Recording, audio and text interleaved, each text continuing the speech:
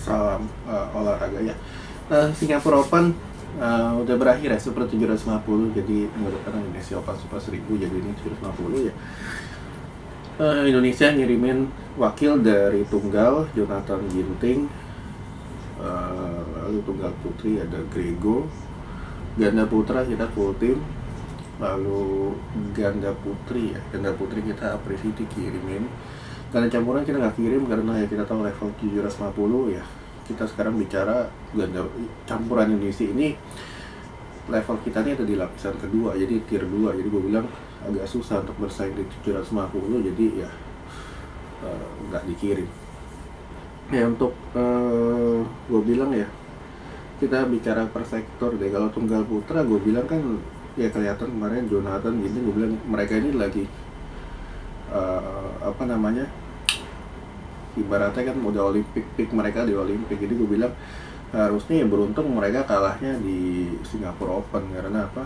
Ya, karena jangan sampai kita juara juara juara terus nanti sampai olimpik. Justru ngedrop dan ini harus dihindari ya. Beruntung juga kemarin gue bilang ya uh, kelihatan juga bahwa baik Jonathan maupun Ginting ini uh, dari sisi permainan ya sisi permainan mereka udah gak ada masalah. Tapi dari segi konsentrasi gue bilang agak buyar kemarin. Lalu dari tunggal putri Grego masuk semifinal pencapaian luar biasa dan ketemu Wan Seong walaupun map apa kalah tapi dia udah bisa uh, istilahnya menyulitkan lah mepet karena selama ini kan uh, Grego ketemu top 4 ini kerap kali kesulitan ya. Dan terutama ketemu Wan Seong ini Lalu ganda putra ya ganda putra kembali miris. Cuma dapat satu wakil di final Fajarian. Ya Fajarian di perempat final kalau orang bilang hebat naklukin Liang Wang oke okay, mereka hebat. Tapi gue bilang ya Liang Wang ini nahan ya di perempat final. Kenapa? Karena ya kembali Olimpik. Jadi gue bilang mereka hindarin cedera masuk perempat final nggak bunuh nggak jelek banget. Dan kemarin di semifinal ini justru yang gue bilang peak performanya Fajarian kita mau tim Andres. Mereka tampil kalau gue bilang enggak terbawa ritme lambatnya Kim Andres dan mereka coba cepetin tempo dan berhasil. Justru di final ini anti kelima.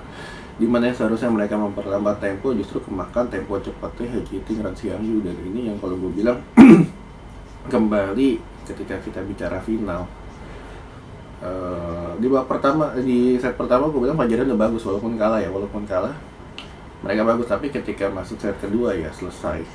Ini kalau gue bilang uh, ke bawah algoritma pemain kita ini terutama ganda putra kita sekarang ya terlalu sering ke bawah ritme tempo lawan. Dan ini ya harus uh, ber, berturnamen turnamen nggak ada pembenahan gue, gue bilang.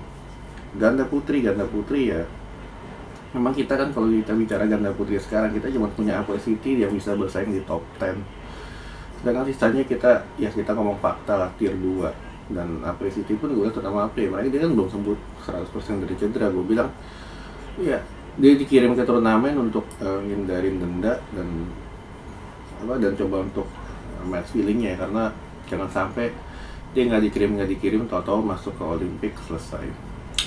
Ya minggu depan ada Indonesia Open dan apa namanya dan itu level super seribu.